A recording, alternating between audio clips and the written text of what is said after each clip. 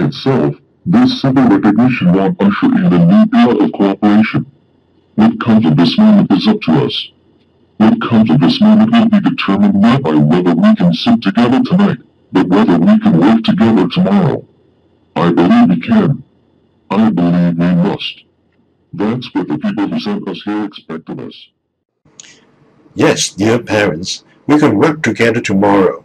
Strange, you got your own job and I got mine. How can we work together? Yes, the world has changed.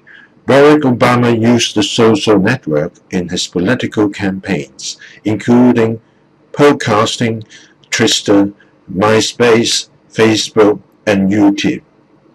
With all his speech, behind the screens are a team of young professionals who expect a change of the country. Compared to the traditional channel like radio, television, and roadshow, the power of social network gave birth to the first social network president in the world. Of course, compared to Obama's community, Kido's team at the moment is a micron community. However, behind the screen, we have professionals like teachers, child psychologists, programmers, apps developers, designers, doctors, speech language pathologists, etc., etc.